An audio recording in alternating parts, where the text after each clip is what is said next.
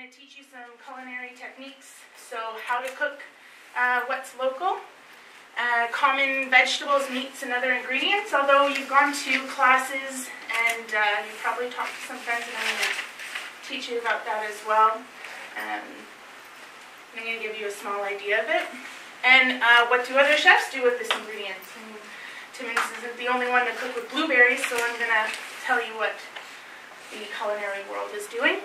And then uh, you're so smart, and I'm pretty sure you cook with a lot of these ingredients as well. So I thought let's uh, let's do a group discussion, and maybe you can share what uh, your cuisine is.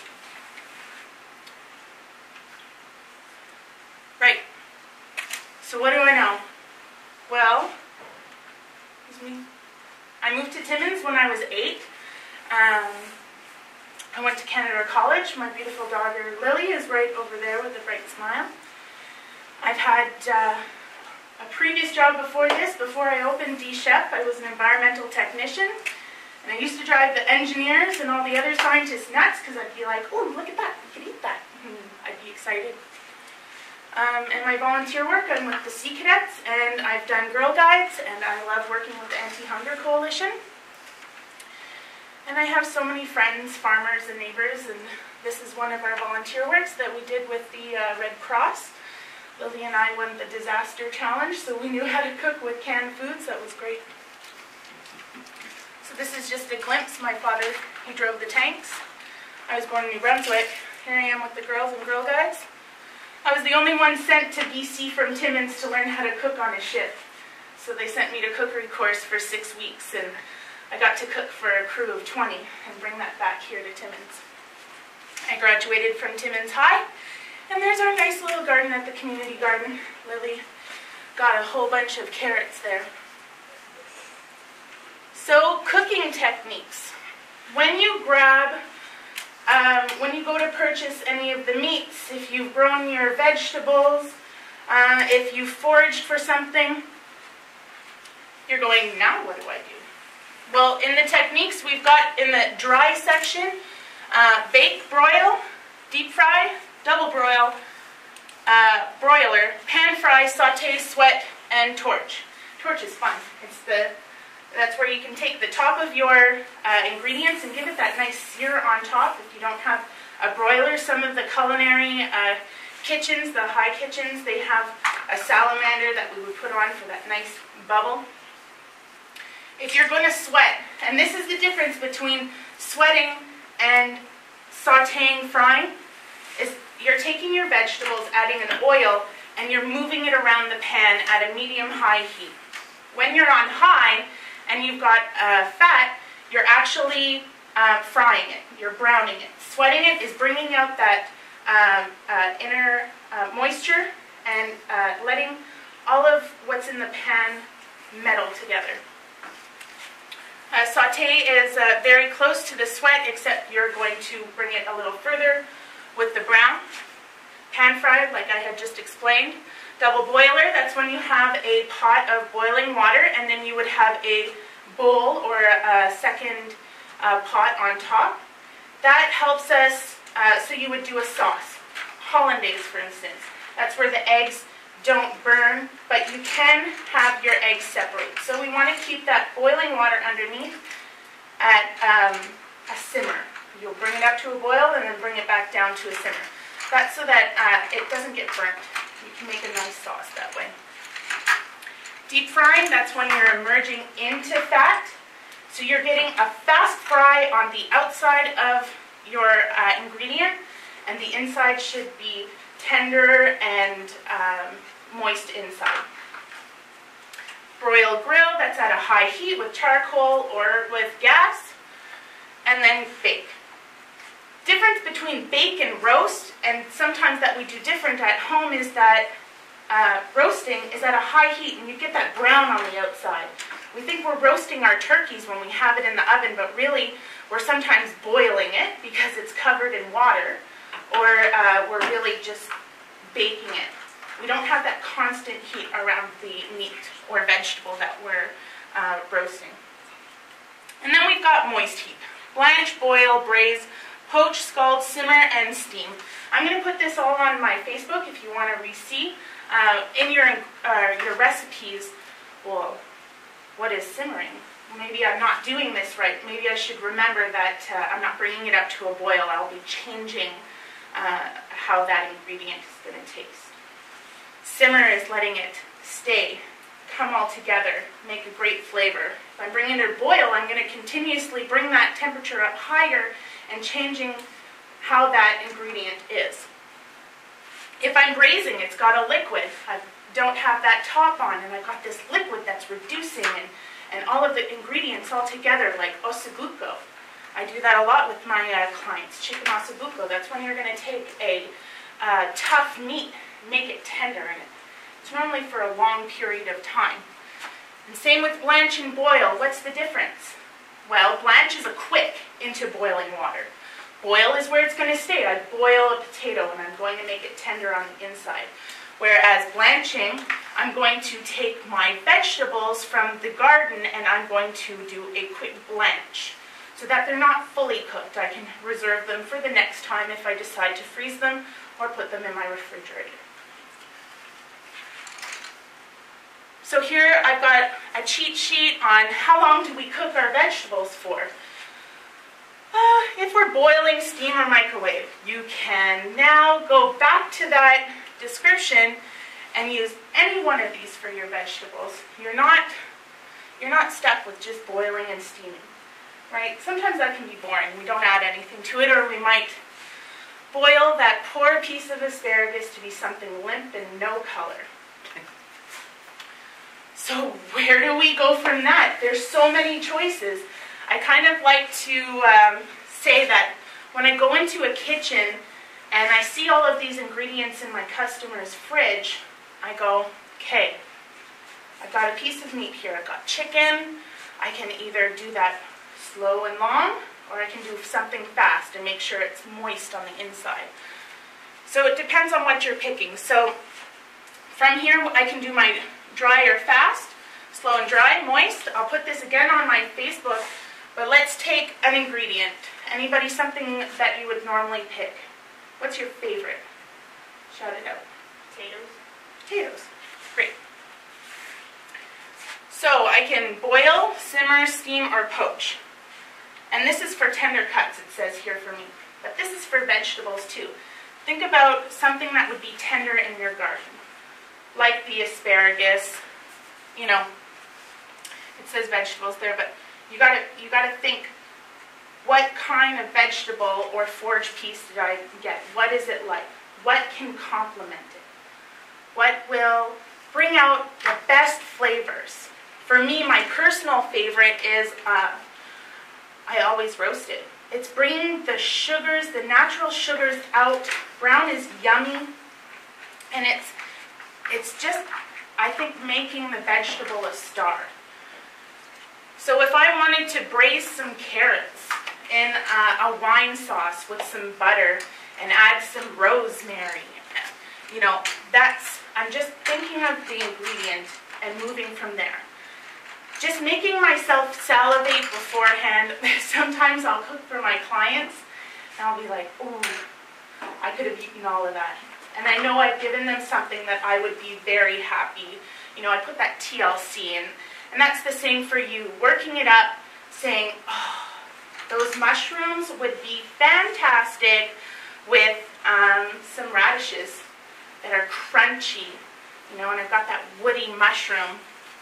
You got to think of what the combinations can be. So I said, what's the flavor? What complements this? What kind of herbs, spices will partner well? And how do I cook it? So you're looking at the ingredient and you're thinking in your web, what, what's going to go along with it. So, and even in your complement, you know, your second ingredient or your herb, you've got a whole bunch of other choices. Do I have dried herbs? Do I have fresh herbs? Am I going to ruin what complements it with the main ingredients? So you've got to take some TLC into that as well. Um, if I put in butter in the pan, is it going to brown and darken and make it worse? Getting to understand your ingredients is, is the best thing that you can do. Um, So let's, let's start from the beginning. We've gone from potatoes. And I want the potatoes to be the star ingredient. So a typical thing that you see on the menu, bacon, cheese, potatoes. I don't really want the cheese. I really want to taste the potatoes, so I'm going to put in a little bit of bacon. Well, I think I want to add some more flavor. I found some chives. I found some chives that are flowering beside my house. The color and the green are going to be so nice at the end when I've finished frying my potatoes because I want that brown off of the bacon and off of the potatoes. there's the starch that's going to give it that flavor. And then the steam from that is going to bring out the chives and the purple. And when I look at it, the composite of the plate, I'm now salivating and I put in a lot of love and care and thought through the whole procedure.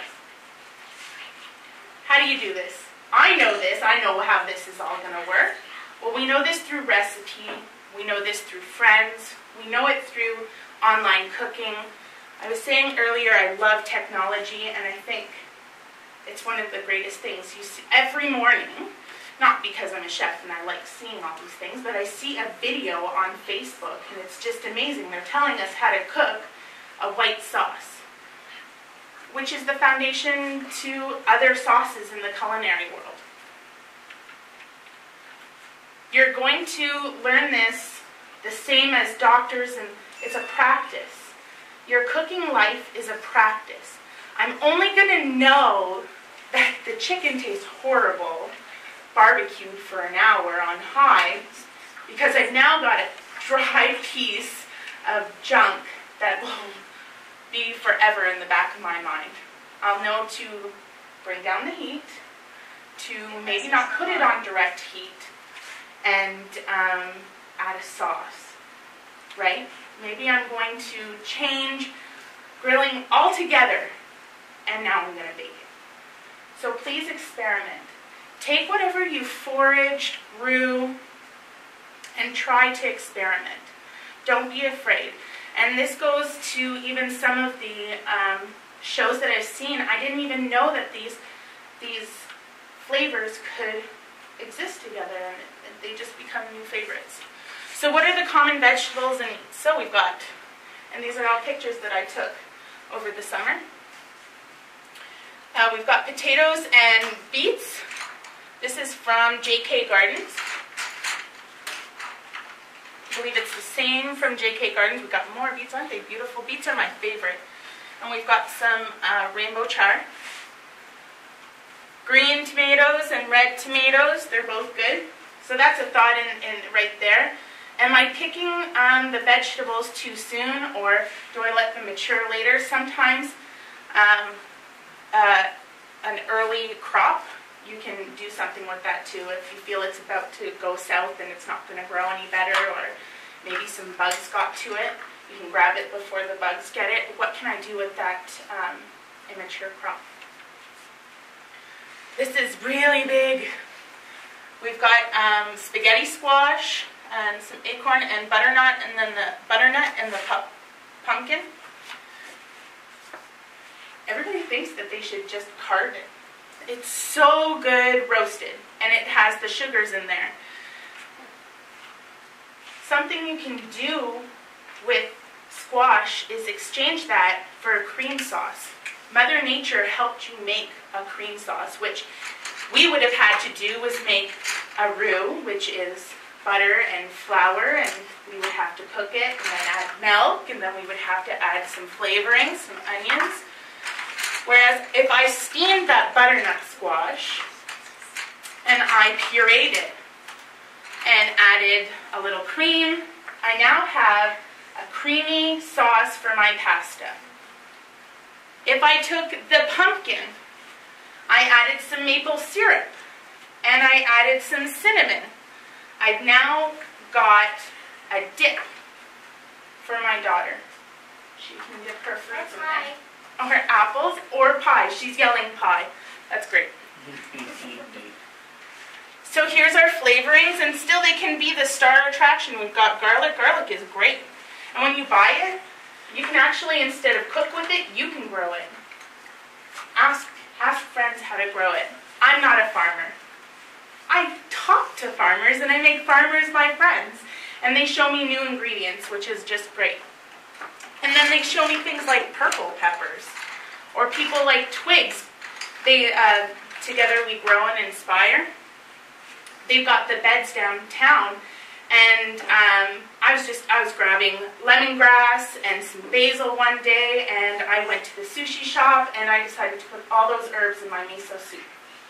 So now I've got something local, and, and I enhanced something that was cheap in, in my budget for, I think it's $3. You've got some hot spicy to make your own salsa. There's salsa is on here. All the ingredients. They'll tell you which one's hot because their fingers probably burnt if they went like this.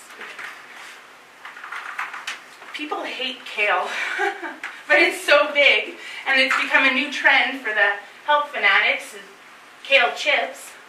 But if you cut it up and you braise it with your meat, if, and you know the South, they've got collard greens and they knew how to add a lot of fat and pork and onions and they they would uh, saute it for a long time and they knew when it broke down and it was added with something else it would taste flavorful. But you can add it with a tomato sauce. Today, uh, for a client, I had chicken breast, turkey bacon, and they had some extra kale, so I decided to cut that up and I baked that with the tomato sauce and added a pizza spice. Beans. We've got purple beans over here. You can do your own pickling at home or make your own slaw with the beans. You can uh, definitely add a cheese sauce. You can put it in a stew. You can make a bean salad, a bean pie. Fruit. Do we have fruit? Yeah, we've got some uh, crab apples, hibiscus. This was somebody's birthday treat this past, uh, just recently. So we've got blueberries, raspberries, and field strawberries. They're pretty small. You're not going to get a huge blue uh, berry pie unless you spent uh, a good time or you're a good picker, but they're there. Lily, what are these? Do you remember picking these? What are they? No? Cranberries? A doctor showed us this. And when we were going with kids, um, they said, look for little rubies. It was in a swamp area. And so now I can make muffins and I can make cranberry sauce. And I've also cooked liver. Somebody hated liver and onions, so I added uh, cranberries with uh, herbs, rosemary and thyme and sage, and that masked it really well. And pin cherries.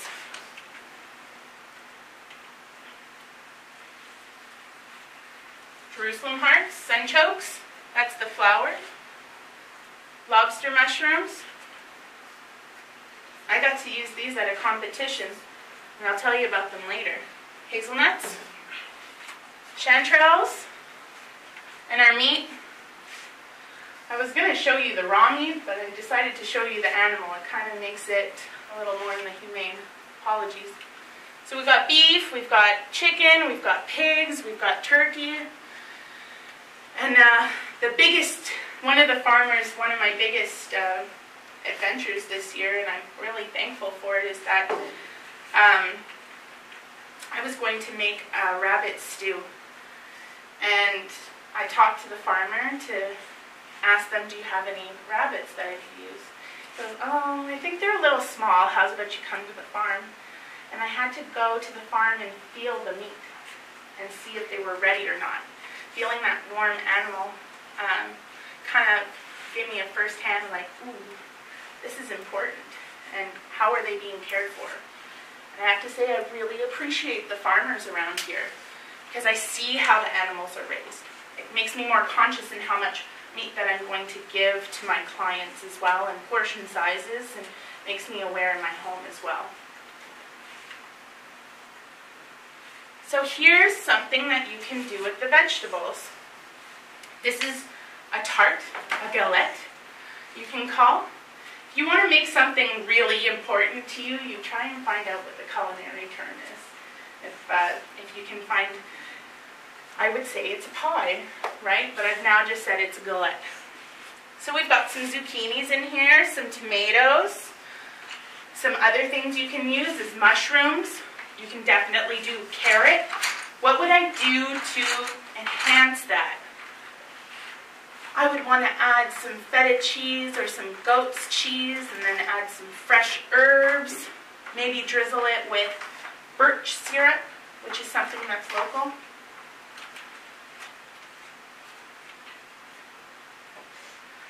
The culinary world is really good at decorating a plate.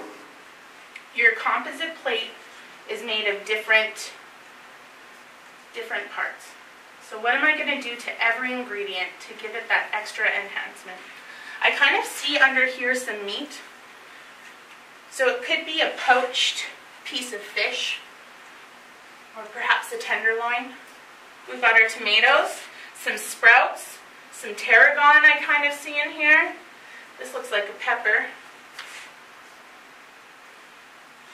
Mustard seeds, that's something local, making a mustard sauce. I can just imagine those bursting in my mouth, giving it that spice, that heat. Maybe they're pickled. These can be beets. Taking uh, the cut of the beet greens, the stems, cutting them on an angle I can put that on top.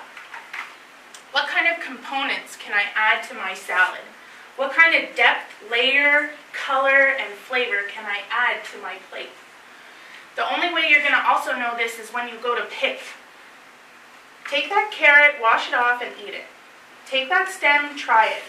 Ask friends, what do you think about this? What, you grew that in your garden. What's that like? Oh, here. And some of the farmers will do that to you too. Want a bite? That's great. Well, this was mine. So this is cucumbers. I had some sprouted live greens, and I took some red onions and pickled them.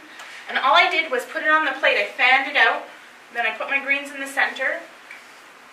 The um, red onions, I pickled them. Mm, five minutes some sugar, uh, vinegar, and some salt. That's it. In an open bowl in my refrigerator. And now you've got um, pickled onions that can go, go on a pulled pork sandwich. Uh, I can add that on an appetizer, maybe some hummus. It's now giving a sour uh, and strong onion flavor for me. These are pomelos. We could switch that out for some berries.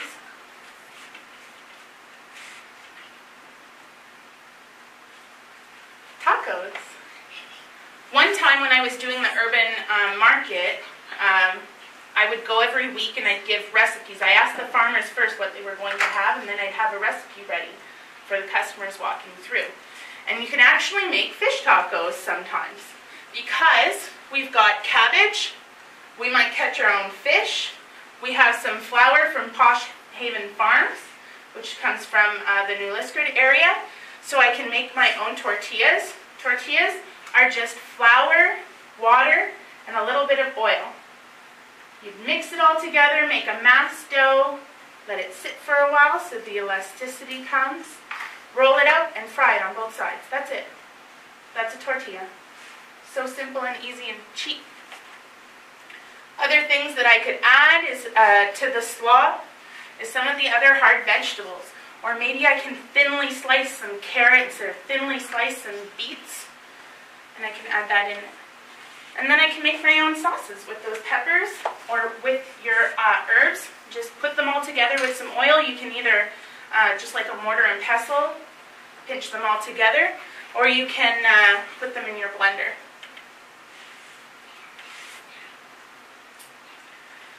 This is what you're going to spend $100 for. So I see a beet, which we grow really well. I see some clover. This could be a parsnip, some edible flowers. Maybe I did a reduction of red beets or added the, um, the birch syrup. This could be a foam. You can take your horseradish and make a foam. Gives it that airy, light, spicy feel. This could be a piece of fish. I see it crusted with something. Maybe again the mustard. And then uh, that can be the purple chives. So what they've done is they've got the component here. Maybe they've roasted or marinated the um, a parsnip. And then they just add the color all around.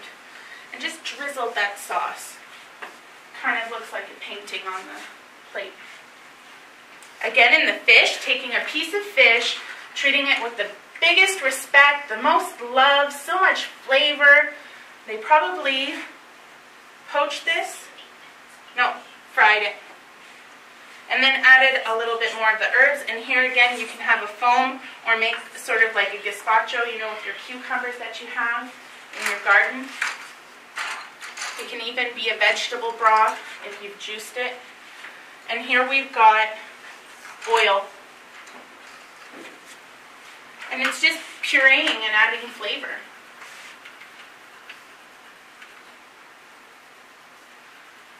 Okay, um, this is a gordita. This is from Chuck Hughes. Anybody heard of Chuck Hughes? Chuck's Days Off. He's a Quebec chef. So we've got some thin sliced radish. We've got some peppers. We can take some pork, pork belly, and then they've added some greens. And this is a fried bread. So I went to the Toronto Food and Wine Festival, and I got to talk to all of these great chefs. David Rocco, he's on, uh, on the Food Network. He's got a wine.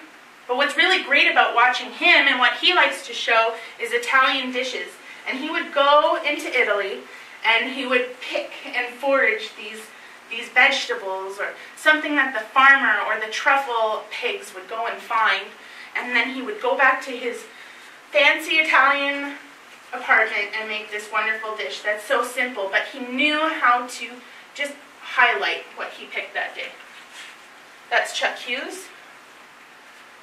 Roger Mooking, he likes a lot of the uh, uh, Asian cuisine. This is what I got to do at the competition. Uh, it was at the Miele Kitchen. I got to go against some people that were on Master Chef and Chopped Canada, some winners. It was pretty intense what they made. So I decided to bring some foraged hazelnuts, which this guy really loved. They thought it was great. And I said, Timmins has awesome food. I, you wouldn't believe what grows there. We've got mushrooms that are just nuts. And I took the Thornloe blue cheese and I made a hashtag out of it. And this is uh, greens from Radical Gardens. So I got to feed a bunch of celebrities some really awesome food from Timmins. This is uh, Martin Picard. He's from uh, Quebec, and he's got a couple of restaurants, and he's that French tradition, the same uh, heritage as us, and he knows how to take the pig, how to take the animal, and how to take the foraged food and make these great stews. He used to take every part of the moose and uh, he'd take he'd take the testicles and slightly cut them and then fry them in some butter and add this amazing sauce with some foraged uh, some foraged greens. This is Curtis Stone here. So I got to sit at his show and I'm like, okay, let's see what the Australian has to tell me. He took um, tomatoes and what you see here is a dehydrator. He took the tomatoes, he blended it, then he strained it, and had this beautiful tomato broth. And you would think that he'd make a soup next or like a drink. But instead what he did it is he added a starch and he put it on the dehydrator, which then made these thin little clear sheets. And then he deep fried it. And he made tomato broth, essence of tomato broth, chips. He knew how to manipulate the ingredient, which we grow here in Timmins, right? Tomatoes. And he made this really awesome chip. And there wasn't any chemical enhancement. It was right in front of my eyes, an oil uh, with the starch, and he just made that broth.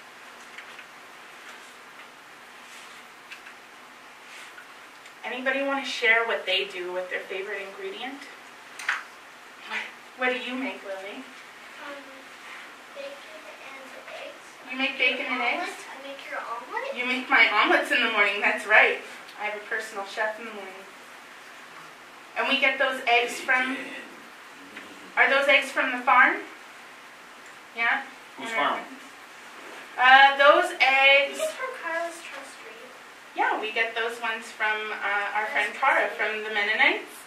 And we also get some from Rosalia we've had before, and we've had some from Hot Feather Farms before. Been there. Lois. Ah. her best friend. And you can get your bacon, you can get it from Hawk Feather Farms, and you can get it at Next Step Disciple Farms, um, Esposito. Anybody else? No? I really like adding spinach to everything. It's like a nice replacement for maybe lettuce if you're looking for something that has more nutrients in it. Yeah. So I like adding it to sandwiches or my pastas, and I even like put them in my like just a little bit in my smoothies in the morning. And you don't taste it, but you get the extra nutrients from it too. Right. I've seen it in chips. I really like actually kale spinach chips, and you can make that too. Uh, again, but the um, the corn flour isn't from Timmins, but I am introducing local into it, right? And honestly, I feel that Timmins flavor. It's not where I am, and the closest that I picked it. I find is just like first of all, I'm proud of myself, and then second, I I just think that it's the best flavor right now. One time I made a steak, and the steak came from Matogany Heights Farm. And then I had honey horseradish sauce from the Bees and Berries. I said, you know what? This is the best flavor ever, and nobody else is having this in the world. This is my own unique dish, and nobody else has it. When you go to grow and pick and make your own dish, nobody else in the world is eating that because you picked it, you grew it, you found it, and then you made this beautiful plate. And not only are you so proud that you did that, you know, it tastes so much better. There's a, a, real big mental part in it. Are there any vegetables or cooking questions you have for me? Yes, Lily. I heard.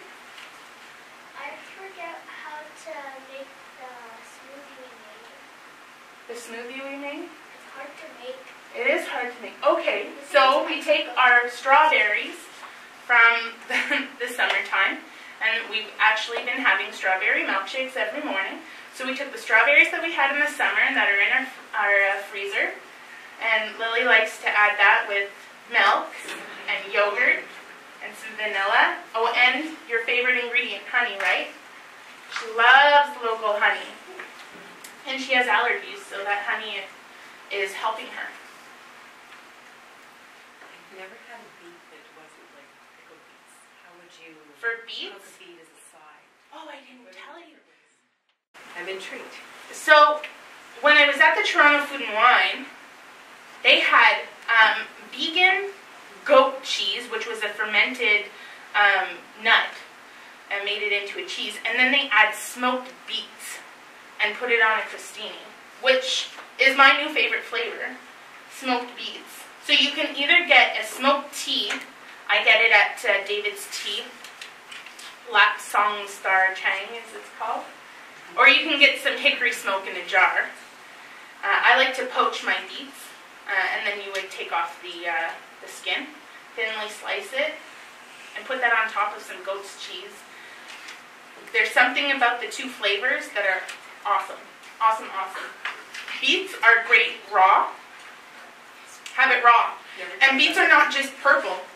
Um, there's the candy stripe, which is our favorite, and just the other day I did a beets Napoleon, again with the, the goat's cheese. And uh, what I did is I I had taken off the skin, sliced it, poached it in some apple cider vinegar, chilled it, and then I went beets, goat's cheese, beets, goat's cheese, and it was just this tall tower. Um, you can barbecue them. I used to do lollipops with uh, sweet potatoes and beets. I put them on a stick and I would just barbecue it and make my own ranch dressing, which you can do with the herbs that we grow and you can find wild. And put that in some uh, sour cream and you dip it in. Beets are great roasted, just a little bit of uh, salt and olive oil. I did that in college actually. It's on the uh, Golden Beef, yeah, Golden Beef uh, website. There, um, that, that sells at DeBrowski's. DeBrowski's is really good, really good. That's a jewel. Is there any other um, vegetable that you grow that you would like to know other than How would you make rabbit? for rabbit? So you can braise that in the ossobuco style. Um, it's a tough, it's a, it's a tough, it can be a tough meat if it's been cooked too much at the beginning, chewy. Um, so having it in a sauce, maybe with some onions, some tomatoes, add some olives if you'd like, and uh, let that go into the oven at 325, probably for 30 minutes, 45 minutes. And uh, you'll have something that's tender, nice to break apart, and a beautiful sauce. And the, what's around it will infuse into it because it's not really a distinctive flavor. No, it's very tender. But you said, do you put in what? And tomato sauce. Tomato sauce and would you add uh, onions and garlic? or Yeah, and you can add a splash of wine if you want. You don't marinate it ahead of time or anything like that? You can marinate it, grill it, do. Lemon juice or something like that? or- Yeah, yeah. Just again, remember if you um, if you uh, overdo it, it can be like that chewy piece that. I like all that with some squid, so I'm okay. there you go. The uh, purple peppers or purple peas, what do they taste like? Are they different than the? Um, the purple pepper I didn't try, um, but I would assume it's pretty close. That's a question for the farmers. That's a really great thing. Um, when you go up and you, what's this? What's it like? Sometimes uh, they'll let you have I it. know there's a big variance between, you know, like yellow pepper, green pepper, red pepper, Right. orange pepper, and then I wonder if that's. That's in the sweetness, right? Yeah, Now I'm gonna have to try it this summer, and I will definitely post it. I've seen it. Yeah. I. And did you try the peas as well, or? The purple ones, Yeah. the purple beans. Yeah. Yeah, yeah, I really like those. I didn't see a difference in taste, Mm. um, but I really liked that dark color. I don't know if it was like an antioxidant kind of idea in the back of my head. Um, but what did I do with that? I did garlic, olive oil, and uh, vinegar. That's it. And you can uh, blanch that, or you can just have it straight washed and crunchy. What about the boletes or the chanterelles? Oh, I would, I would want, I would want to fry those to get that nice brown. Um, if you put them in the oven, I would put that with the sauce, but they have such a great, dense, woodsy flavor in them, nutty, that, uh, that's what I normally do. I, I'll, uh, slice them and then add some cream and just put it on top of plain pasta. I don't want to pair it with anything else because I kind of treat mushrooms like a meat. Just because they have that great flavor to them and I, I wouldn't I wouldn't want to add anything else. I probably wouldn't even add a really harsh onion. You'd want like a shallot maybe to give that small bit. And the same with garlic, I'd be careful at too much just because it's it's so great and, and it's hard to find. Like unless you're really good at finding them or have a really good friend that picks a whole bunch of them. I would I would want to taste it. Make it make it the star attraction. When you, when you uh, fry them, you you normally uh, take the water out of them first, like fry the water out of them first? or- Uh, yeah, that like that. That's what will. The water comes out, the sugars come out, and that's what browns in the pan. And is it the same thing with the lobsters or? With the lobsters, that's a, a really cool one. Um, And again, they made it the star attraction. When I went to the foie gourmand, a lot of people were making it into, and, and I've done this too, mushroom pate. So uh, you uh, fry them, and then you what you would do is process it. So it would be that spreadable kind of idea. You put it on a piece of toast, and then you would you would taste that lobster mushroom. And they didn't add any extra spices to it either, or onions. It was just great. Uh, you could add chicken broth. I wouldn't add a beef broth. I'd add a light broth to it. So maybe this is where um, something that isn't too fishy would go great with it. Go ahead, Lily. Do you have any other questions? What's the, um, some more ideas with turnip and parsnip? The turnips and parsnips. We all do stew, right? But uh, cube it, roast it. You're gonna get that individual flavor. Um, you can add, make your own kind of um, root vegetable, like ratatouille kind of idea. You can have them in slices uh, or small dice, and you can saute them or add some butter, put it in the oven and bake it. Uh, I would suggest that. Adding um, savory, thyme, uh, the chives at the end, rosemary, those would go great with it. And cheese. Au gratin is great. How do you attack, I always have problems attacking a rutabaga because it's covered in wax. Right. And you need like a, I don't know, an axe to cut cut it up or whatever, especially the bigger it is, the tougher it is. So when in cutting, and my apologies, because uh, I went to school for two years to learn um, my cooking techniques, right? So I'm not going to teach you everything in one night, but definitely take classes. And uh, knife skills are are where um, it's a class. so you want you don't want something fumbling, okay? You want to have like a flat, so that when you go to cut it, it's not going to move around. And then your knife. Make sure it's not dull. That's where we cut ourselves because we're forcing. Don't hack because your hand could be in the way. Uh, just start off with the tip and then bring it down. Don't don't take more than what you can handle for sure.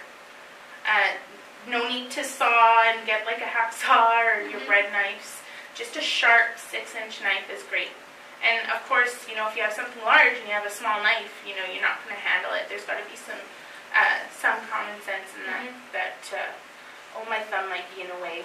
Oh, something else. So you're, I find that, that uh, the wax, I, I really don't know why you put that wax on the rutabaga because on a turnip they don't put it and it doesn't dry out fast, so it's, It's one of it's one of the processing that trying to keep it fresh. Your apple has wax on it. Um, a few coats of it from what I gather. on the apples, Yeah. yeah. Um, yeah, there's quite a few. that It's just the. If you've ever heard of the grapple, uh, it's a Fuji apple that tastes like a grape, and it. This could be incorrect. This could be, you know, the media. But what one article that I read was that the reason the grapple came out was because of the pesticides that were being sprayed on the apples. They were finding that the apples tasted like grapes. So then they said, well, maybe we can sell this. So they say that they're uh, submerging it in Concord grape juice and that now they've made a hybrid apple. Uh, I don't know. Not my thing. Our, our wheat is not the same as what the ancient grains used to be either. and we've yeah, we've, we've made that, you know. So, uh, what you can grow though, what you can make and what the farmers got, you know. But those are seeds which are sold by Monsanto or whatever. Yeah, So it's like, it's already GMO seeds, so. uh, but you cut some of the process out, right? And there's another part in that too, the recall in, in vegetables that you've seen recently. Um, uh, the farmers have to take care in that. You know, there's the food inspection. They need to make sure where the vegetables are grown, what processing plant, what kind of water it's been washed in. You know, and when it's mass produced and it's going all over the globe, you know, Nobody's checking. well, but you can definitely walk onto a farmer's, you know, farm here and say, "How's your day?" How's those carrots growing? And they actually will show you about 20 more. And I don't want to hurt their feelings because I gotta leave. But I love them so much because they've got something cool around the corner or growing in a new hothouse that We have, because they've got orange carrots and they've got what, uh, beet, Yeah, beet, purple. purple carrots and, and yellow carrots, and I'm like, you know, what is this, another hybrid or what? that's not my that's not my area. Okay, one last question. Yeah. Um, Squid, uh, when you buy like the rings and the frozen thing, you- what do you, what's the best way to cook those? Coated and fried. I mean, it's not. Uh, Did you thaw it out first and then Yeah. under cold water or just room temperature in the fridge for the overnight or whatever? and no, don't do do not place meat on the counter overnight. No, It's- in the fridge overnight. Yeah, in the refrigerator, you want to make sure that your refrigerator is always colder than four degrees. Yeah. And if you're going to do something fast, which you can do with the fish, you can pour cold water over it for a few minutes and then it will thaw. Uh, pat it dry, make sure it's dry. Uh, season it and then fry. And seasoning can sometimes have a breading on it, potato starch or you know flour. Oh, Okay. Do you have a list of local farmers and suppliers that you, uh, that you use, or is it some on your website? Well, I don't show my preferences. Uh, I don't really have a really large like There are eight farmers here in town, so. Yeah, and you can check it at uh. Taste of Timmins. They've got a list of it. And I just heard of a new one, Acres. Well, it's not new, but it's on Mahoney Road. I, I uh, Acres of Dreams. It, thank you. That's where we, sh- we, that's where we get get our eggs and our beef from. That's where we'll get the meat, I saw a post on Facebook, but I, I don't know. Yeah, I saw they had some or- freezer yeah. stuff. Yeah, and uh, if you see on the, the Taste of Timmins, you'll see some uh, descriptions of them. Um, and I tried to link them where I got my meat or what's included. Uh, Was there some chickens there too, or? Chickens too, yeah. Pork, beef, yeah. And the price, they're organic or they're non-organic or what? Um, well, they're not certified organic, okay. but they don't use any chemicals. Yeah, So, the, the only it's- certified are the, the Mennonites, I believe, at this moment, well, one of the farmers. Yeah. And, um, Brianne is aiming for it, so. yeah, and there's, like, there's some debate on, like, some of them have debates on what's certified or not. Uh, again, not my place to go. You just, you give me that, and it's really, from my point, it's your, your, um, option. You know, it's up for you to know and what what you want personally, and you, what your pocketbook, what you socially want to put in. I'm not your conscience. I'm just telling you how to cook it. And what do you cook here in town? I'm a personal chef, so I go into the homes and I cook for people, and then I do classes as well as uh, I do some catering. I'll get to you later, sweetheart. Here, go play. Go play. um, yeah, it's it's best for the farmers to speak for themselves. Right. Um, what I can say is that they have great products. Well, they do show up at the farmer's market, at least they have been. so- Yeah. so- And uh, Next Step as well has pork beef, and uh, they're in South Porcupine, and they show their promotion. I, I mean, um, our communication, well, at least the biggest presence for me is uh, Facebook. People trying to get it out there so much. Um, my family has another business, and people say to us, "Well, where did you post this?" or "Where, where are you telling people?" And it's so hard. Um, Yeah, but if somebody doesn't go on Facebook, uh, yeah, then, Yeah, and but when you have resource dollars and you're not sh- sure where to focus that on, like there's just so much because same with radio, uh, I, it's hard to direct who I'm going to for listeners because. uh, did you listen? Anybody listen to CBC today? I love DNTO. I, I, I like listening to uh, Sook-Yin Lee, and today was actually about food. So if you'd like to check out her podcast, she was talking about food. I was like, wow, well, that's a message about today. Hopefully it goes well. Um, but uh, somebody in Winnipeg was eating for $11 a week. She works for the Commerce, and she's a chef, and they did got together and they learned uh, making your own pasta, making your own uh, recipes. That was their that was their savior in pricing, and uh, knowing how to how to cook was was was, was great. And you know, if we overcook it, or if we put the wrong compliment, or if you know we're not doing something right, we're not going to like it, right? we put in love and know how to cook it and what to put it with, with a great partner, a great marriage, you know?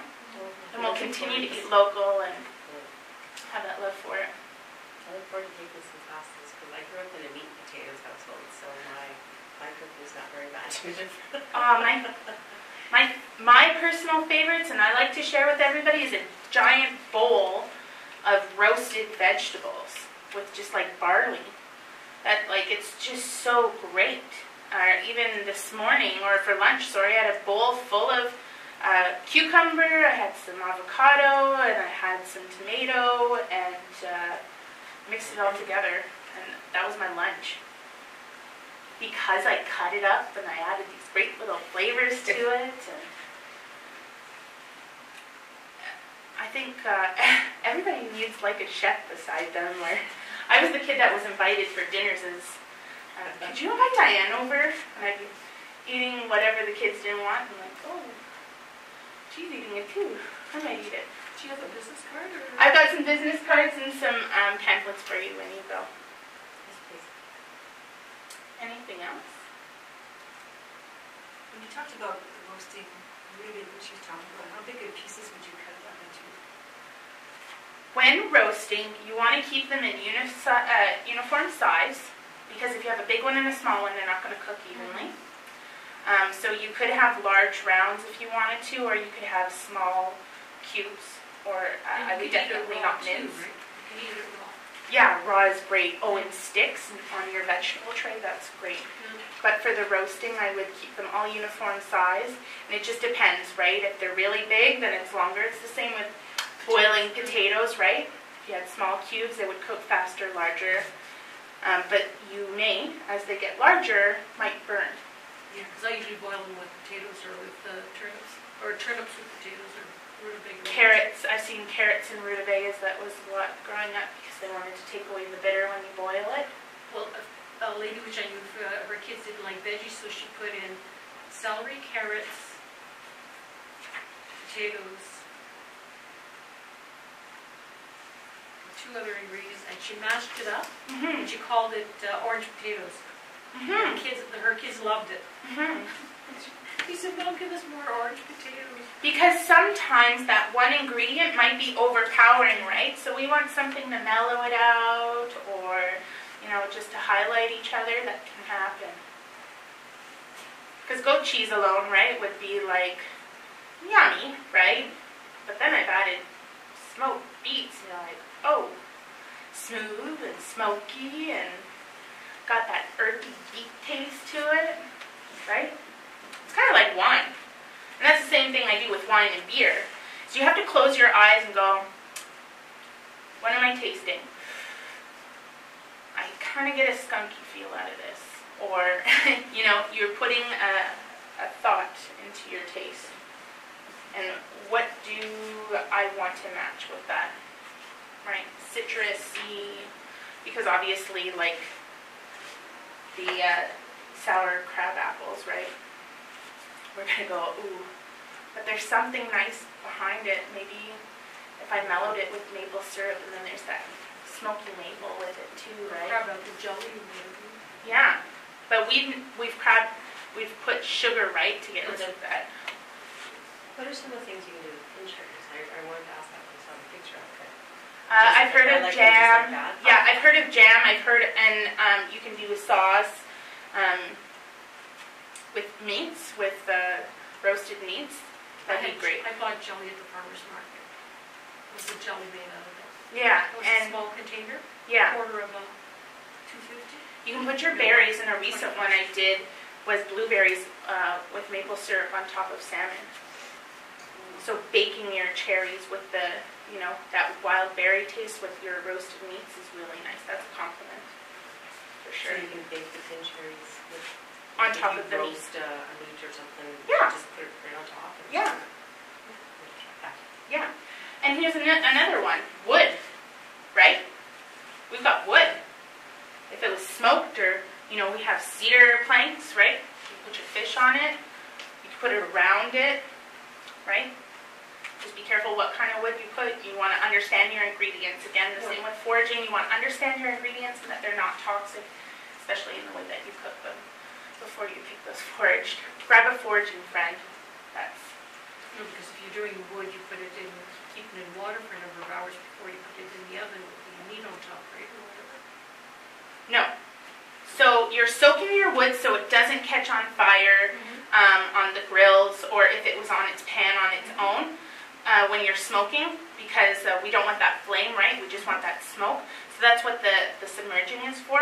But if there's already a liquid with it, like say the plank, the wood is in there, it's already got a liquid, so um, it would it probably absorb the extra liquid, or it could expel like uh, sap out of those those woods. So that's the other part knowledge of that wood. But that's what the soaking is for. And it doesn't necessarily have to be water. It can be um, beer or wine or um, this the the syrups. You know, you can add extra that, or you could have uh, a stock of some sort, right? And that's a good one too. You can um, you can burn like uh, herbs and, and, and things like that, and uh, just put the pot on top, and that kind of has a smoke on the outside. Don't do it too long, and now you've kind of got a smoke like rosemary over top of a meat. That's an enhancement. So take the ingredient, read up on it, ask a friend, find a recipe, kind of get the idea of what the cooking process is and how can you alter it. What path can you go down with it? Can I try it this way? Deep frying a beet, for instance. Understanding that. Don't do that. It's full of water. Be careful of that. You'll have a something explode. So you want to. Can I deep fry a beet? Google's great for that. Can I do this? And then hear a community discussion. Sometimes they're not available. Don't listen to one article. Listen to a community discussion. I make choke cherry jelly, and a lot of people think the jelly will taste like the berry. But it doesn't. It's great. Yeah. It tastes wonderful. But see, see the description you just gave to that ingredient? Like, you know, you've tried it and, and now you've, yeah. That's what you do with all of your local ingredients. You, you put it in that uh, recipe and then it's wonderful. Even with carrot jelly or, you know, you can make beet jelly. You can Pepper jelly. you can jelly anything, right? That's taking a cooking process with that ingredient and making it into something. Now, if you added, some, I don't know, pepper now to that jelly, right? You've got a pepper choke cherry jelly, right? And We've pepper jelly is good with me. Yeah. So, right? And like we've got mint galore and other um, herbs that grow. So like, Go mint, mint around Gillies Lake, Yeah. down in the lake shore. So you just go and walk around and say, oh, there's the mint? yes, I don't know if I've ever That's seen that before. it was the it was attention It's more, on but- Lake Shore. It was Katrina um, from TWIG. We were walking with our daughters. She was foraging, and we're- that's all it took. I'm pretty sure Mark could give you quite some tips as well. Where would you find cranberries here in town? We I'm went. it's Fulton. By Shillington. We went down by Domtar to pick those. Or yeah, uh, down the, the highway where the Mallets was. We went down the logging road and she found it was a marshy area with tamarack, and uh, that's where they were used to picking those. So she said, look for the, the tamarack and marsh area and. and that's what- Shillington has high, bu- high bush cranberries, oh yeah. because I picked them there on the Moose, Moose Stream. So the next time she goes for a walk, and if she's your friend or you, you see her around, say, could I come for a walk with you? Or you could go on a wilderness tour and Mark might stop this. And there is that other group, those wild crafters of Timmins and area. Yes. They, they have been here a couple times now, and, and uh, the gal who does that, uh, Amy. A- Amy, she's really good, and, uh, and they have lots of good tips for that kind of stuff. So there is a group that does go out now and then and, and does exactly this too. Yeah. So why I say technology is great, because we've got these great tools to communicate, right? And that's exactly how I found out about cranberries. They're like, we're going in the bush this weekend. Want to come? No, I remember Yeah. with, as a kid with my dad, we went to the bush and, uh, this was elsewhere in, uh, in Quebec and we picked cranberries and you have to have high rubber boots for that because you're going, going. In the water. Yeah. So soggy. Yeah, yeah, yeah. So, uh, What are some of the other, what are some things that you forage for regularly? Oh, regularly? There's, well, blueberries, raspberries. yeah. My family's fun. I'm the raspberry lover. Lily is the blueberry lover. She has been picking blueberries since she was a baby. She'd be butt naked, full of mosquitoes, picking blueberries.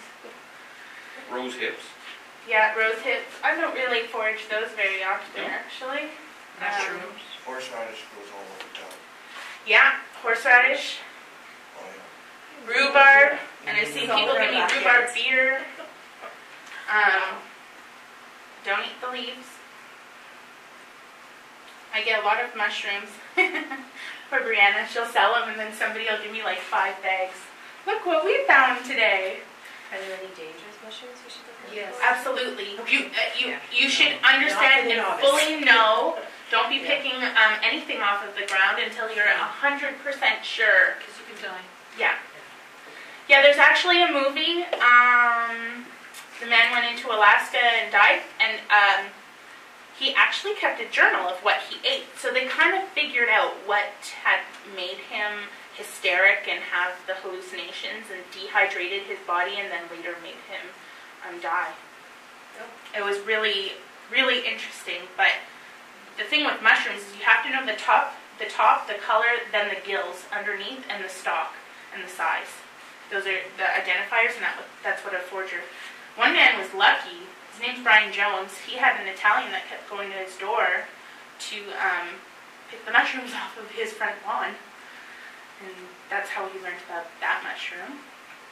Or he also told me he learned about mint a different way that I learned mint. Mine was with Katrina on the Gillies Lake, but he had mint but he um, didn't have it in a pot, so it was growing in his yard. But his neighbor kept on calling the weed man to get rid of this weed that was in his yard, but it was mint the whole time. And Brian could have picked it for all of his mojitos. You'd make lovely tea with, with, Yeah, yeah. The raspberry leaves is good for tea too. You just brew them like you do loose tea. Yeah, and wintergreen is good for that. Oh, I like wintergreen. Yep. Yeah, that's And one that I fireweed. pick on a hike. Fireweed's another one. Wintergreen is. That's your Everywhere. toothpaste uh, mint. Really? Yeah. Yeah. I Yeah. gotta go on one of these walks. It's, it's refreshing, and it's, I'll get a, a, some have- sap as well. When do they have And these uh, cedar. know what's, what's what? Well, they've had a couple things here at the library and gone around, but we haven't really done, there hasn't been very many uh, walks that have had that on it. We do the Hersey Lake walks, Well, I figured I'd know for Hersey Lake. Yeah, we like, sometimes We have look at- Jack Pine in here, we got there. yeah, but the, we had a, a mushroom girl come once to one of those, and that was very good. Mhm. And we always try to get somebody that's a little more knowl. I'm on. I'm not as knowl. I'm a tree guy, right? So I'm not as Mhm. knowledgeable on all the plants, but a But lot there's of them some I am. trees, there's some tree leaves that we can eat, right? Oh, Help us absolutely. get rid of scurvy. Yeah, yeah. Um, So they, they, they need to do more more of Well, that. if somebody and- could be more like, you know, I don't Yeah. know, a local or native or whatever that says, this is this and this is that and this is whatever. Yeah, For a mushroom guy, you gotta find the year. Mushrooms, no, no, I used to go as a kid with my dad and uh, I'd always pick it and say, he says, yeah, there was one which I really knew it- what it was, so. But the rest, I, it was a poisonous one and the non-poisonous one and they kind of like looked alike. yeah. Chanterelles are quite useful. yeah, Usually and comes morels. When I worked up in, uh, I worked up in the Yukon, and they'd lose all of their hotel workers whenever there was a fire, because afterwards is when all the mushrooms would grow, so you get more money picking mushrooms. So when there's a fire, Well, that's what happened when we had that big fire here at, uh, when, Highway one one in Yeah, number nine. pretty sure A they lot would of have people been. were going mushroom picking then. Yeah, yeah, really. And the blueberries came out really nice too. This year should be really good for blueberries there again. But I, sorry, again, on Facebook, when I was looking back, I saw the timing. Because it happened at different parts of the season. And it was September that we picked those cranberries. And uh, they talk about, um, you know, uh, uh, the different, uh, like they'll post, oh, I've been seeing them, or oh, this is sprouted. it's great that they're able to share that, right? Kind of wish we had a community board where we would hear it, but we don't. And where would you find the horse horseradishes and everywhere here in town? You know what? Anywhere in Schumacher, pretty much. Oh, really? Was that from people's gardens, uh, that, the- it, because it's, it's, um, You can go just about down any laneway in Schumacher and find horseradish. well, yeah, because it's one of these, uh, what's it called? The, uh, Runners. Yeah, yeah. Yeah. Same with the asparagus. That's another grower. You wouldn't know by the big flower, but it's asparagus.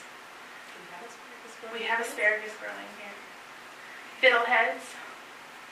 Be careful on fiddleheads because sometimes, uh, You have to watch out for the type of, the, the- you have to get the right type of fern. yeah, As long as they're curled, they're good, but once they uncurl, then they're not. Yeah, but there's a different, Yeah. there's two different types of ferns. There's, there's one type of fern where, where it all branches off, that's, that's the bad type of fern, and the, and the good type of fern is the single, is the single one. We always That's- pick them that- in That's the Schumacher. good fiddle, that's the good fiddle, and there's not very, uh, there's not very many of those in, in this part of uh, Ontario. You have to be very careful. And I didn't find one all last summer. I have, I have a couple of the right, there's a I couple think it the got right hot ones too at my quick cottage last in summer. Quebec, I found it. Yeah. Yeah, The right ones. they didn't have a chance. perhaps it takes somebody to facilitate, to find these friends and to, to put on an event, Yeah. right? Look Okay. it up, you can, Cause I look-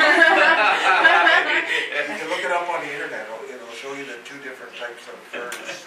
uh, Like the, all the ones we get around here, the ones that all branch off, and the Yeah. other one is the single type of fern. You'll find that mostly, it's, find that fern mo- more in a, it- you've more in got a more marshy in area. Quebec, I would think, right? The- What's that? It's, it's very popular in Quebec, Yeah, yeah. yeah. This is There's an lots aha of them moment, here. isn't it? But, Oh, yeah. um, Up No, by I'm way the- too busy. The water Look at tower. me. listen, if you had a the walk, If you live in town, and we had the friends walk, you live here in town? Yeah. And we do High Falls and we do Archie's Rock every year once too. Yeah. We can easily combine that. we just need to make sure that these foragers are on the walk. What, what group is it that you, you work with? It's called uh, wild crafters. So, Well, the Wildcraft are the guys that look, look and do the wild foraging, but uh, with Wintergreen Fund for Conservation, the M- MRCA, so on their site, we, we, we do, uh, we do four hikes a year we try to do. We do High Falls, Archie's Rock we've done, we do Hersey Lake twice a year, a winter one and a summer one. And we throw in whatever else is interesting that's around, Yeah. we, we do those also. And it's a good group, we've had 40, 50 people out to those things. But you're right, uh, we need to have, we need to get a, uh, one of these wild crafters who are good at it to come out with us. Do they have a Facebook page, Wild Crafters? Yes, they do. Did I write it down, because I didn't remember the names of those. Um, yeah, I'm just trying to, maybe if you could take the Timmins Library or me and, and people, uh, can go there, that are here tonight and Yeah, they don't have. I really like community discussions and, um, I can, like I, s- I can only learn from Mark and from others and, uh, What else would you do with the horseradish besides just uh, grate it? Horseradish is very good with beets, um. I know where you are, I got you. Horseradish and beets, very, make, makes, The uh, class is coming up this week. Well, my dad used to do that all the time, because we had horseradish in the yard and, part- and, and beets, and he'd uh, grate the horseradish and, uh, and make, uh, like horseradish with beets, which they sell in the jar at Dombrowski's or wherever. Okay. they got them pickled and sliced, is that what they've got? It's not pickled and sliced, and my, my father would be creating it, and I said, Dad, why are you crying? He said, well, you do this and see if you don't cry. Yeah, no, grate, gra- yeah, grating the horseradish. It- it- You grate the horseradish, you grate the beets, and you marinate it with, uh, you pickle it, right, like in vinegar and whatever, and then. So there's a spice to it, right? Yeah. So you gotta be careful of that, but Here's your- the here's brine those- probably the gets rid of right? the spice. It's What I not remember- a root vegetable that you want to eat whole, it's a flavor enhancer. Same as I wouldn't want to eat a full salad of basil, my mouth would be just full of the flavor, right? Do you have any classes coming up? Or or you're just too busy, eh? It's really, there's so many avenues to go down in the food industry, and honestly, Timmins is above some cities, and uh, I'm trying my best to enhance what I I've got can. a There's not question. enough for you to go around. Is there We all Sorrel got you. here in town? I, Sorrel? I don't know. I've heard of. I think I've Sorrel? heard of it. Yeah. It's like a, like spinach family, but it, it grows yay high and then it's You know- very popular in France. You know, they um, the foragers here need to have more classes, and I think it also they have uh, an issue of you know they don't want to be held liable for this person's like. Sometimes when a picture goes online, people ask for them to identify it. And You will not get an answer very good, yeah. they're And some of the forests are sprayed also, so you can become sick afterwards. Well, that, that's that too. I have to tell you, like, I have a liability on me as well. I can kill someone. Actually, it happens. Restaurants kill people. They've and they are sued millions because there's bacteria, there are allergies, uh, that you know, incorrect labeling. That uh, it's very scary. So when when I have to cook and adhere to the Porcupine Health Unit, that's because I need to store, prepare, and make sure that it, it is a safe product because it goes into your bodies, right? Um, so on the food side, you know, we're a college class. I'm not a doctor that can say, eat this carrot and cure yourself. I can say, eat this carrot and be happy though. And I'm a major part in that. Uh, so I definitely advise you to talk to those people. And, and now that you're asking this, you know, I'm going to go to them and say, can, uh, you broke my iPad. can we come together and have a, mark, a walk with Mark and you can tell us what it is and I can eat it and say, this would go great. But where are the walks advertised? They I've just never have a walk right now at Hersey We- uh, we- Lake. Yeah, we just. Where's it Awesome. advertised? Um, In the Times? It was two no, weeks ago, it but was they- at, it was at Yigs on the bulletin board. yeah, and the Daily Press had it, and CBC Radio, I'm surprised and they the didn't have Facebook it here on the page. bulletin board. It, it probably was. I would have shown you that, that, their Facebook page, but I, the internet's not, uh, They disappeared. so. I, I thought I saw it here for a split second, but it, I think it disappeared somehow, I don't know. Because usually it's in January, and they did in February this year. Yeah, and so what, the- and, and, and sorry, I don't wanna, but the, the, we always have it with the SAR, the Sa- Search and Rescue guys. Yes, yes, I know. So it's the same weekends, it's kinda cool, they get, everybody gets to see their Quonset huts and the fires, and it's a real, it's, a- we had, we had a good forty-five people out. Except this the, year. the Hersey, uh, the road wasn't cleared.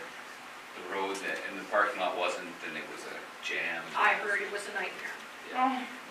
So on the class, do you feel a little more um, inspired to try and to change and to taste what you may not know? And and I didn't tell you how to do the cooking techniques, but for you to understand that there's multi techniques and that you should understand how to do it. That's that's the importance. You should know how to cook. And if you don't know, research. And obviously not just the internet because there, I've caught myself in uh, here in historical cooking um, techniques. You know, are just amazing. I love history food. Thank you, Romans. Yeah, no, they're they're responsible for stew. You wouldn't even guess it. Anything you wanna would would want to know in the future? Do you do cooking classes with the Porcupine Health Unit or anything like that? Yeah, yeah. When they when um, it's a part of sustainability, you know, and also uh, I created this for my daughter so I can spend time with her, and uh, this is absolutely a passion and and great knowledge that I have that I can spread. But I want to be there for my daughter, and so uh, sometimes I have to charge. I give as much as volunteer that I can, but uh, the same with them. They just have limited space. Yep. I try my best. They're all my friends. I communicate the best that I can. no burnt bridges, so I try. And if you want them, say, "Oh, Diane would be great to teach us how to."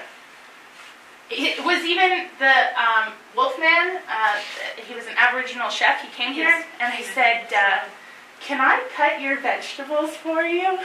and I did. I did, and I made a new friend, and he got some help. It was very charming. Yeah. He was like on TV you can see him, he's like a gentle soul and he's smiling all the time, whatever, it's good. Yeah, I hope Weight Watchers help them. he was on Weight Watchers trying to lose weight. Anything else? He came with his wife. Yep. Very nice. That was an excellent job. Thanks, guys. Yep. Thank you, guys. Very good. I'm gonna go like